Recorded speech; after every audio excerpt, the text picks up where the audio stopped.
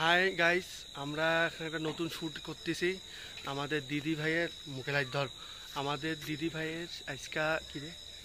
জিজুর। Birthday আমরা secret ভাবে পালন করব। সেই উপলক্ষে একটা ভিডিও হবে। আপনারা সবাই লাইক শেয়ার কমেন্ট করবেন।